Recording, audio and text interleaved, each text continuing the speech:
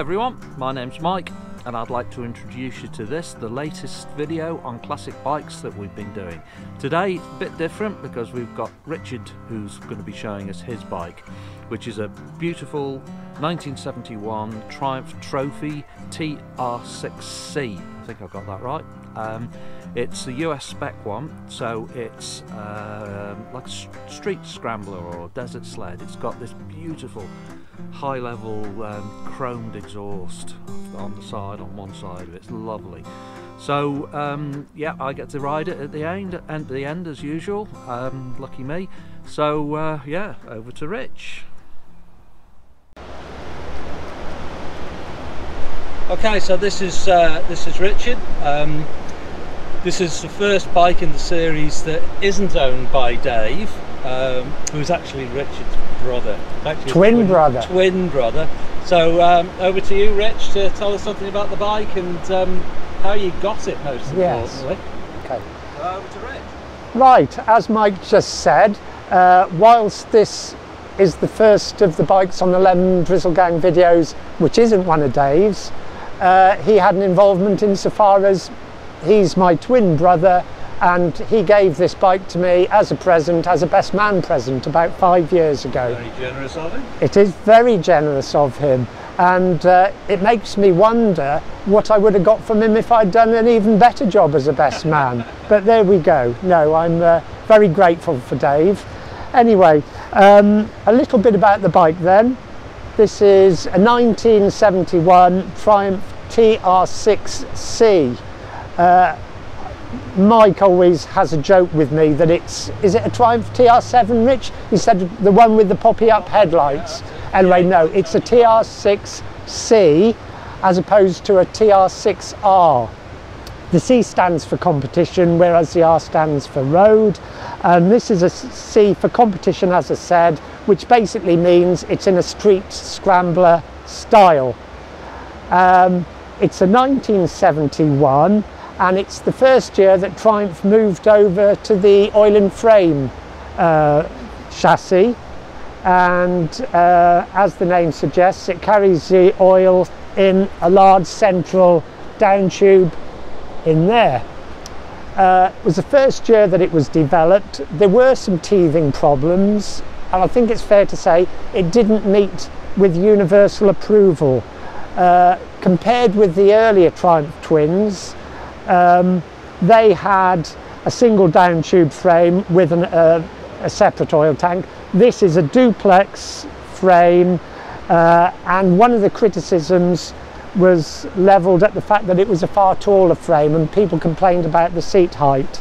Uh, but it's ironic that these days everybody seems to want to ride an adventure bike with a tall saddle. So whether people have got taller over the last 50 years, I don't know.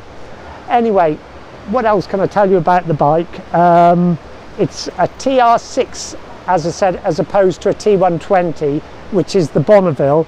Uh, this is differs from the Bonnie in terms that it's a single carb.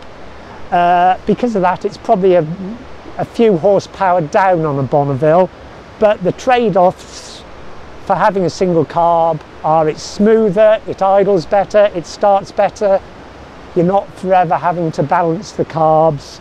Uh, so, you know, I think it's something that's worth having. Uh, allied to that, it's very economical. If I'm just pottering along, I can get 65, 70 to the gallon. And on this particular model, it's a three gallon tank. So it means it's actually got quite a practical range. I can do a couple of hundred miles. So is this US spec? This is a US spec, but unlike the later T140 Bonnies, they were about two and a half gallons. This is a three gallon, but it's still got that lovely shape to it. So it's it's uh, a really uh, good asset to this particular model. yeah, and yeah, as Mike just said, uh, being the street scrambler model, it's got the twin upswept sort of desert sled exhaust system. Uh, one of the styling cues, which some people love, some people aren't so keen on, is the heat guard, which in the UK they used to call it a chip basket heat, heat guard, whereas the Americans used to call it a barbecue grill.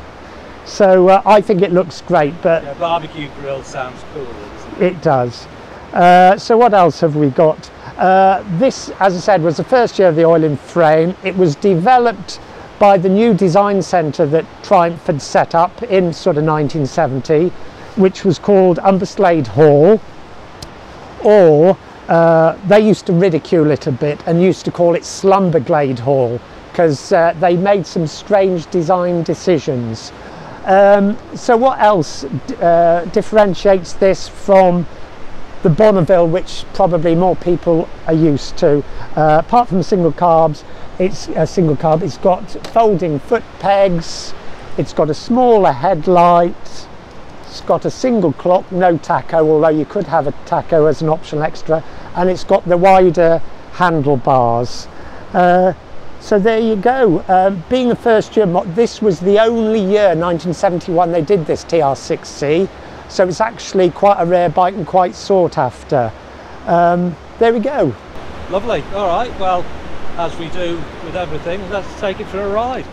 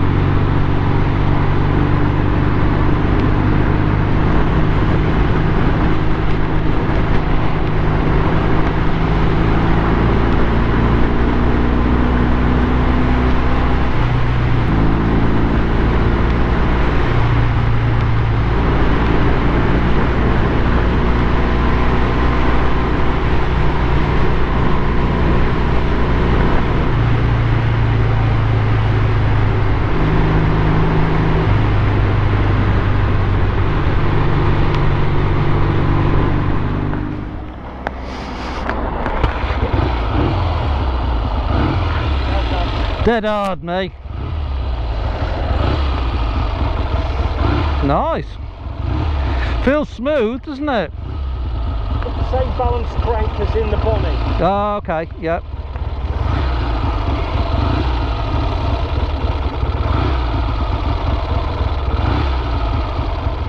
Right, this is me riding it now. And straight off the bat, I feel really at home on this bike. So I don't know whether that's um, because I'm getting used to riding the older bikes. But you can probably see from my riding, I'm just, you know, when I when I rode the um, the Bonneville, I was, uh, you know, having a few problems. I slipped the clutch and that, but um, it just, just feels very natural. It feels very balanced. A really sweet bike. Um, it's got a lovely smooth power. It's got quite a bit of torque.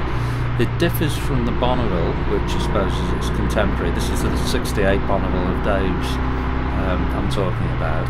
Um, it differs from that in that it is more of a soft power delivery, which you would expect with a um, single carb and a lower state of tune. But it really suits this bike well. You know, you're looking down at that lovely chrome headlight, single clock that looks fantastic, and the big wide bars. and um, you know you could imagine yourself riding Big Sur or uh, Ventura Boulevard or in the canyons in uh, Los Angeles. It's just and, and, looking down at the tank and you've got that trophy sign and the uh, the Union Jack. It's just the epitome of cool. It's really nice. Um, it has the same front brake as on the Rocket 3. Uh, works a bit better on this bike, and I don't think it's because the brake's any better. I just think because the bike's lighter and uh, you're going a bit slower. This has got a, a, a natural it feels really natural around about 50 to 60 miles an hour this bike. Richard assures me that you know you take it up on the motorway.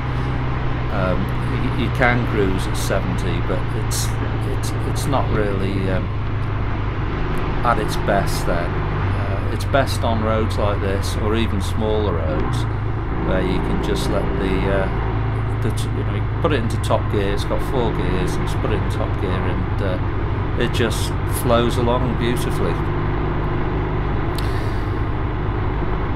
So, thinking about this bike in its day, and it's someone as a buyer um, coming at it, what they would have thought of it. So it was designed as a desert sled. So Triumph had quite a bit of competition success in California in the late 50s and early 60s. So this style of bike had a lot of credence and there's quite a bit of competition success and um, you know I'm talking about guys like Bud Ekins who uh, did the riding for Steve McQueen in The Great Escape and in fact Steve McQueen himself who did the international six days trial on a Triumph Twin not a million miles away from this bike so it's just you could imagine riding it in, in Los Angeles, so you, you know, or in California, Southern California. It's fantastic in the mountains, you know, in the canyons. You do a bit, a little bit of light off-road. Just a lovely bike, and of its era, I suppose. Like one of the American magazines asked the question: Is this the world's best all-rounder? So, thinking about it, modern day bikes that this would compare to would be something like a, a Multistrada 950 or a uh, Yamaha Tracer or a Moto Guzzi V85 TT, you know, something, a, a do-everything sort of bike. Um, but it's just beautiful, it's just lovely. I've really, really enjoyed riding this bike. And as always, I'd like to thank Richard for letting me have a go.